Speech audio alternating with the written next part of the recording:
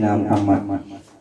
Ya Allah, Tuhan kami, segala puji serta syukur kami haturkan kehadiratmu atas segala rahmat dan karunia yang kau limpahkan serta segala nikmat yang telah engkau berikan kepada kami. Pada saat tanggal 24 sampai dengan 28 Februari 2022 di B4S Neohai, Desa Kalukaluku, Kabupaten Kolaka Utara, Sulawesi Tenggara. Yang pertama, pelatihan teknis kakao program REDSI angkatan meningkatkan kompetensi petani kakao dalam mengoptimalkan produksi tanaman kakao sehingga dapat meningkatkan kesejahteraan pelatihan.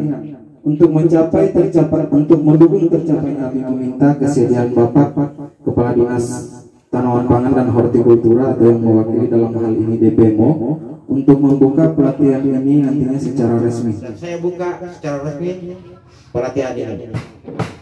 Assalamualaikum warahmatullahi wabarakatuh.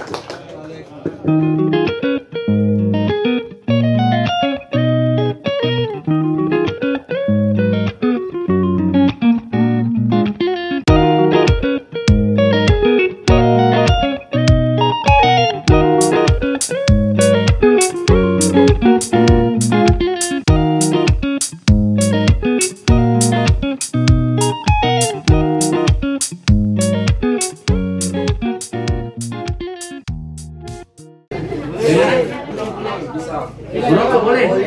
Iya, boleh merokok di kebun. Materi Nah, seperti tadi istilahnya dia yang biasa dibilang pejatan tangguh. Sekarang sudah ada muncul yang, yang sudah lama muncul ini BB01 sudah pernah ada dan baru mulai lagi diedar. Terus yang baru-baru sekali muncul IKRI 09 dan pe- penyerbukannya juga pasti akan bagus dan sesuai apa yang kita inginkan hasil dari produksinya nanti. Oke, ini untuk penanaman baru. Bisa juga ya, seperti yang saya bilang tadi kan, bisa di sambung samping, bisa juga di penyisipan. Kalau ada tanaman yang rusak dan sudah tidak produksi lagi, bisa kita ganti dengan klon yang sesuai. Untuk penanaman baru dan penanaman ulang ya.